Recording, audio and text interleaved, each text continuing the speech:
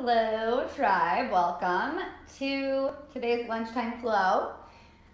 It's Alicia, and I'm going to guide you through your practice. So, for today's flow class, um, it's going to be a little less of a flow, and we're really going to work on opening into the hips. Um, we tend to store a lot of stress and emotions in our hips, especially females.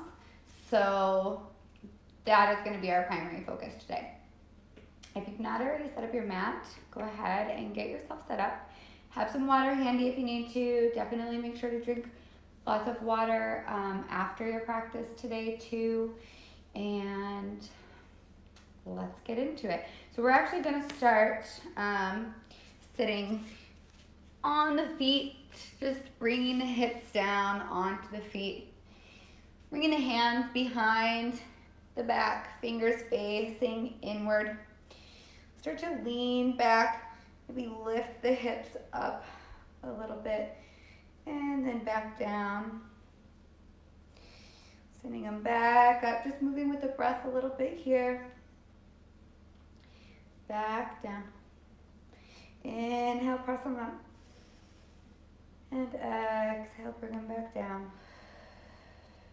Again, inhale up and exhale down. And now this time we're gonna lift the knees up a little bit. So we're gonna stretch into the fronts of the feet a little bit. If you already are feeling an opening into the tops of the feet, keeping the knees down, you can just lean back. You don't need to lift the knees, but if that helps you get a nice stretch and it feels good, then lift the knees, maybe even finding a little bit of movement.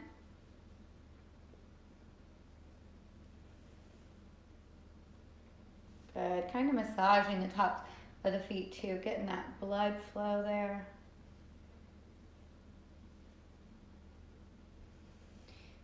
All right, and then coming forward. Let's tuck the toes and send the hips up into downward facing dog. Now this is probably your first one of the day, so take some time to pedal the feet and walk it out if you need to. When you're ready, to release the heels down toward the mat and find some stillness. Go ahead and come into that. Allow the head to hang heavy. Relax the shoulder blades down the back. Bring the navel in toward the spine.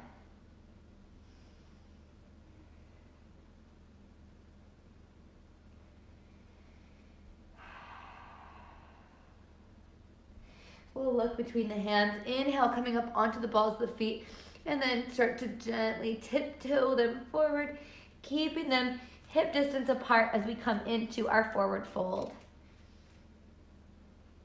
Allow the upper body to just completely hang heavy here. No effort required at all.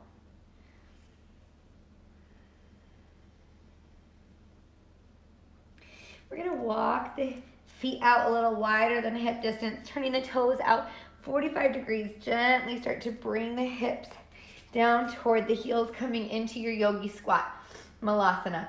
So the heels might not come down all the way if you need to. Maybe bring the feet a little wider. Find what feels good here, what works for you. Hands are at heart center, a little bit of pressure between the palms and start to notice that energy building there. Shoulders stay relaxed down and away from the ears. We're opening up into the hips a little bit, also stretching into the ankles. If you want to find a little bit of movement, if that feels good, you can. Sometimes it does and sometimes it doesn't. So just being aware of what your body's asking of you today, take it nice and easy.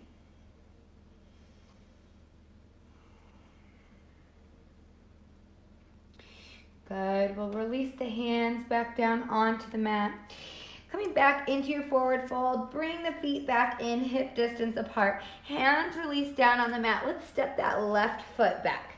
So keeping the left leg lifted up off of the mat for right now, we're gonna just move into our lunge a little bit here. So maybe drop the hip down and lift it up or shift it forward and back. Just finding something that feels good here.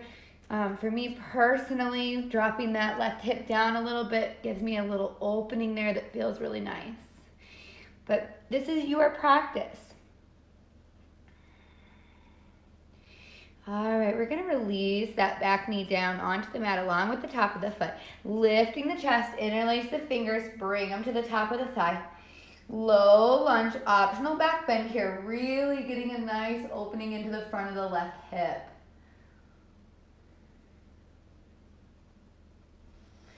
Good, and then releasing the chest forward again.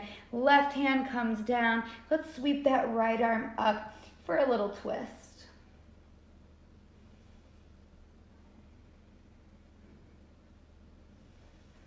And release that back down onto the mat. Hands coming to the inside of the right foot. We're gonna heel toe it out a little wider than hip distance, turning the toes out making sure that the knee is either directly over the ankle or the ankle is actually forward from the knee a little bit as we come down into our lizard pose.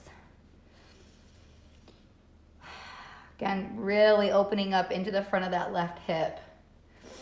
If it's not available to you to come down on the arms, you can stay up on the hands or maybe use some blocks here if that feels good.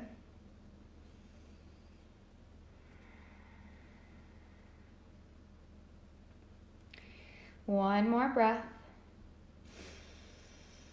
And then walking that right foot all the way over towards the left hand, we're gonna prepare for pigeon pose. Dropping the right knee across from the foot as much as you can. We're gonna square the hips. We want the hips to be nice and even.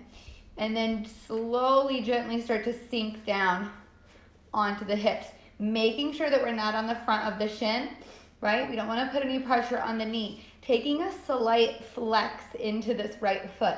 Now, if this is too much, you can always place a block underneath of the right hip or um, take the variation on your back. And there is a video in the Yoga Basics um, page in the video library that will walk you through the different variations of pigeon if you would um, like some different options. So from here, sitting up nice and tall, take an inhale.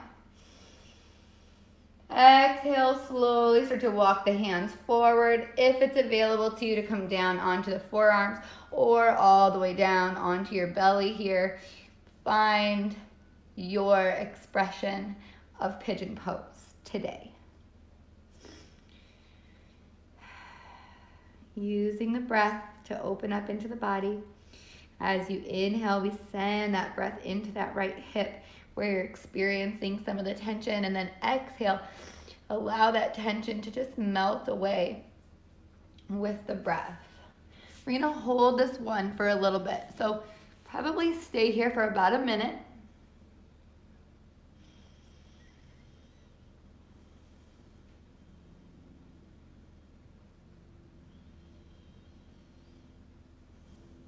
Keeping your awareness on your breath.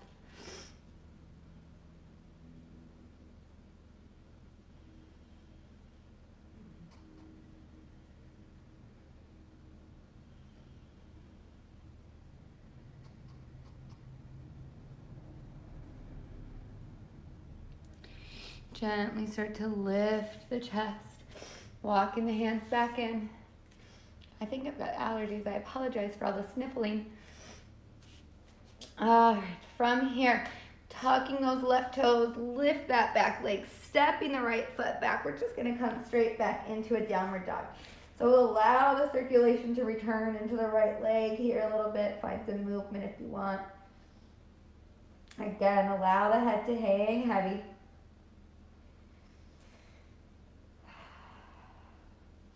Stepping the left foot forward this time, keeping the right heel lifted up off of the mat. Hands come down. Take your lunge. Again, just moving into the lunge here, finding the movement that feels good. And maybe it's different on this side than it was on the right. Maybe on the right side, it felt nice to drop that hip, and on this side, it feels better to take a little rock front to back.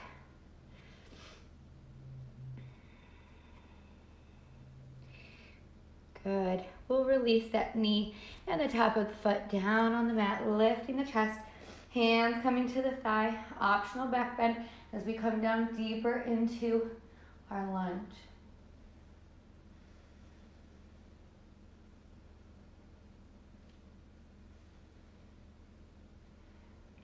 Good, shifting forward from here. Right hand comes down to the mat, sweeping that left arm up.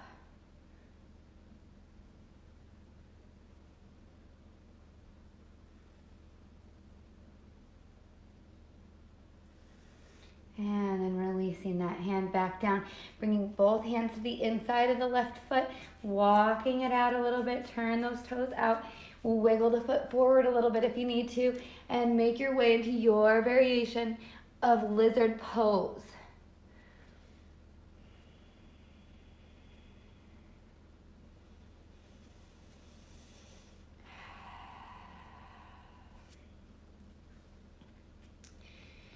Think maybe intuitively, without knowing it, I picked a hip opening sequence today because maybe that's what I needed. I'm feeling very tight in the hips today. If you're experiencing the same thing, just allow yourself to acknowledge it without judgment. We're gonna reach back up with the chest, hands coming back down onto the mat. Walk that foot over towards the right hand. Again, dropping the knee, squaring the hips. And then when you're ready, allow the hips to come down nice and evenly on the mat. Sitting up nice and tall. Modify however you need. And then we'll start to walk the hands forward if it's available for you.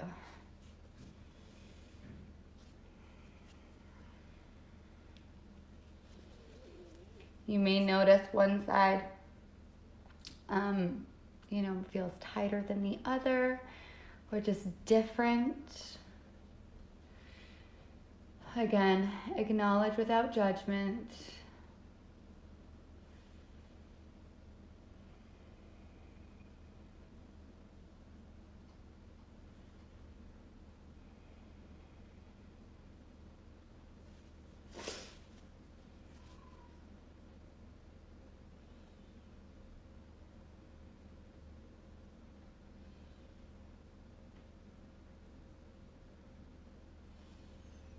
Going to be here for just a little bit longer. Remember to bring the awareness back to the breath, using the breath as a tool to allow you to open up deeper into the pose.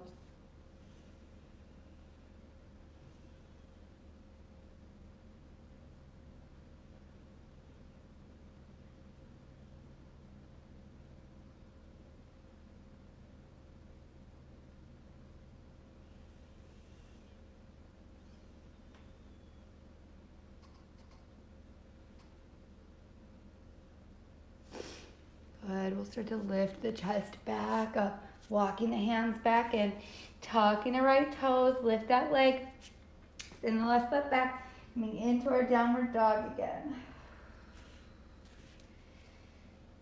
Taking a cleansing breath here, inhale through the nose, open the mouth, let it go.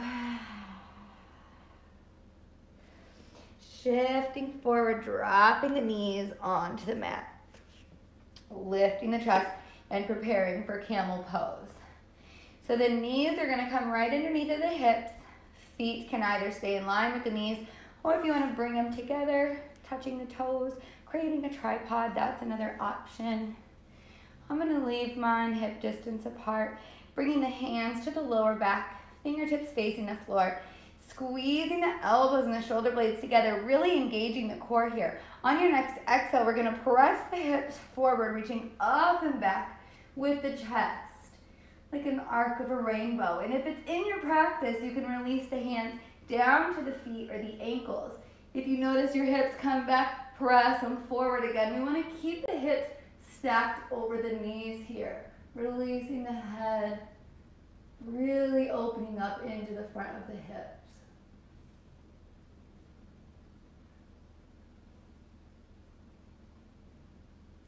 When you're ready to come out of it, We'll tuck the chin to the chest.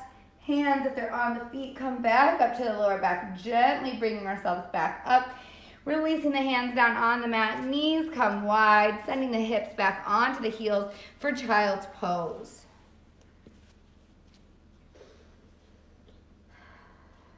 Try to keep the arms active here. Connecting with the breath.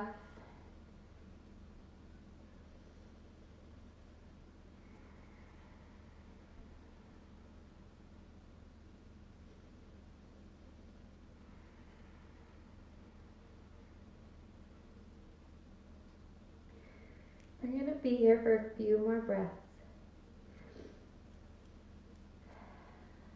Focusing on sending that inhale into the lower back, allowing the space around the sacrum to expand. Exhaling out through the front of the chest.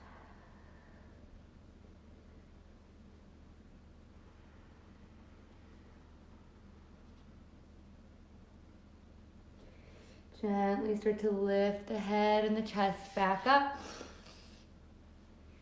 Lifting the hips up off the heels. Keep the knees where they are. We're actually going to bring them out a little bit wider. So you may want to turn on your mat. I definitely want to turn on mine. We're going to bring the knees out nice and wide and try to keep the feet and the knees in line as we come into frog pose. So if it's available to come down onto the forearms, Really getting a nice deep opening here. And maybe play around with your positioning a little bit. So send the hips forward a little bit, send the hips back. Notice where your body's asking you to go. And then honor that.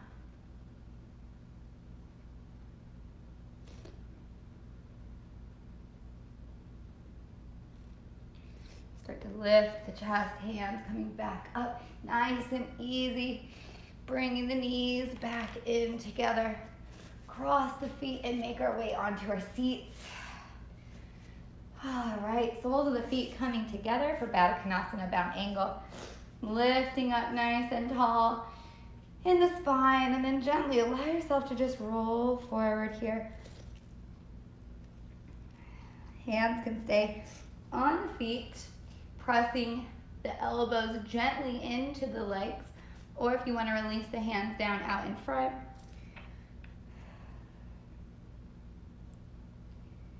Making your practice your own. Learning to find what feels good. It's a practice, it takes some time to clearly understand some of the signals from your body. And that's why yoga is a practice, always a practice.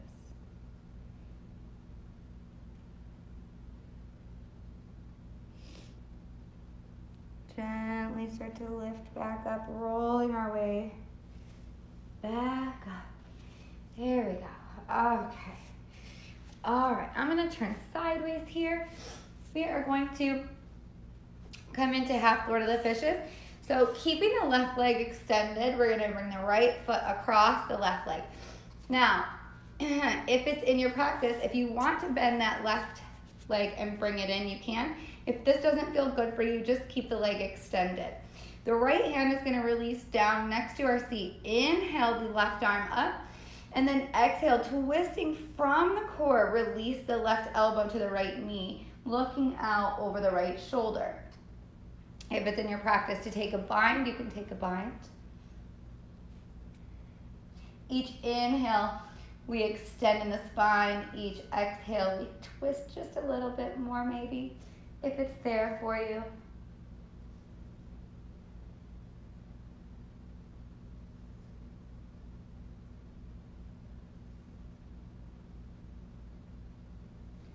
And then we'll go ahead and release if the left leg is bent in, go ahead and extend it, bringing that right foot to the inside of the left thigh. Bring the left leg out just a little bit here. Inhale the arms up. Exhale, turning over that left leg, hinging forward at the hips for Janu Sirsasana. We're leading forward with the chest. We want to press the chest down toward the knee. And if you aren't um, super tight in the hamstrings, you should really feel this opening up into the outside of the right hip here.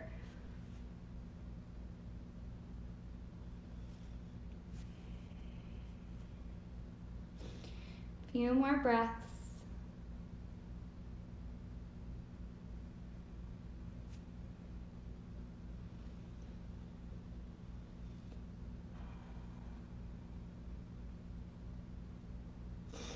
Gently coming back up, nice and easy.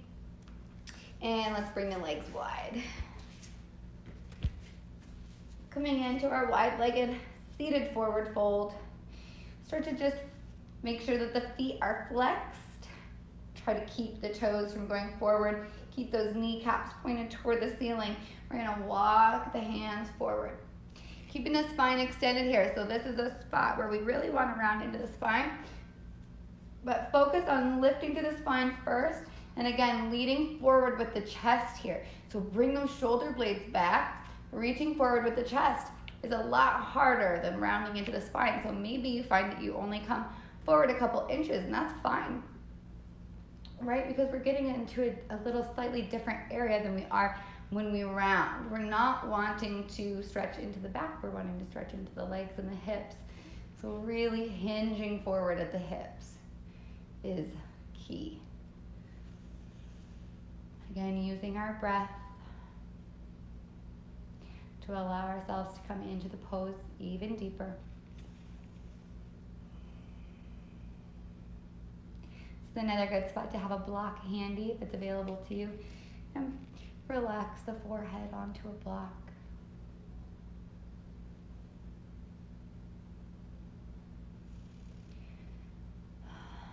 We'll take one more breath here. And then gently walk the hands back in. Bringing that left foot to the inside of the right thigh now.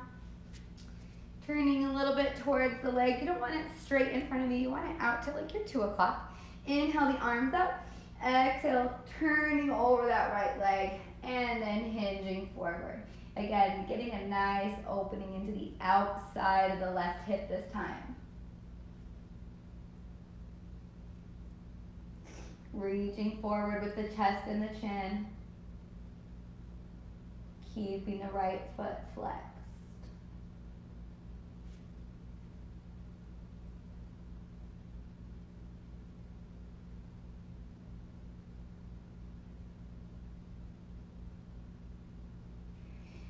Gently bringing ourselves back up. Okay, from here, again, we're gonna bring that left foot across the right thigh. Option to leave the right leg extended, or if it feels good, you can bend it in. Bringing the left hand down next to your seat. Inhale the right arm up. Exhale, twist from your center, release the elbow to the knee, looking out over that left shoulder. Again, if it's in your practice to take a bind, you can. This is a little bit of a advanced bind, but if you have it, you don't want to compromise the extension in the spine for it. So if you're going for the bind, but you're rounding forward to get it, then go ahead and come out of it. You want to make sure that the spine stays nice and straight while you're in your twist. So each inhale, again, we're lengthening up, and then exhale, twisting a little bit further. Hello, Orion.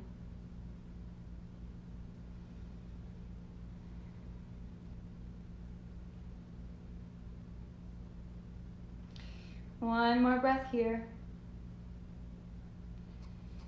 And then gently release. All right, let's bring the soles of the feet down onto the mat. Gently begin to roll yourself all the way down, knees coming into the chest. Maybe find a little rock here, side to side, front to back, whatever feels good. Massage the lower back on the mat. Bringing the knees wide, hands coming to the outside of the feet or peace sign fingers, big toe. Find a little rock here in your happy baby. One final little hip opening here. All right, releasing the hands down onto the mat, palms up, legs coming out in front. Extending the legs to each corner of the mat, and then allowing the feet to gently just relax out to the sides. Closing the eyes and returning the breath back to normal. Allowing yourself to come into your final resting pose of Shavasana.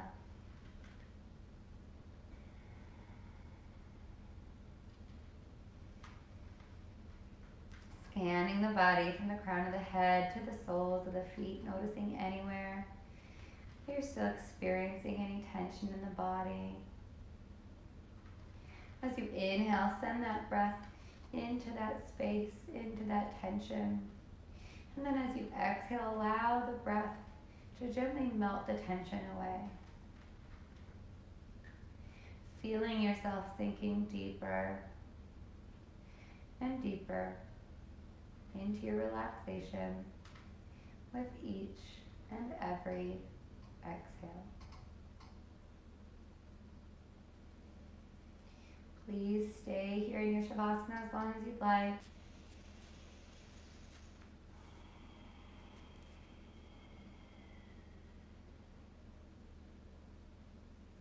Thank you so much for being here with me today. It was truly my honor and privilege to guide you through your practice. Namaste.